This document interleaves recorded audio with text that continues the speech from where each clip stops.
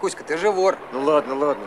Самый настоящий и еще и наглый. Ты же на глазах у всех крадешь. Ты что же решил, что мы все молчать будем, да?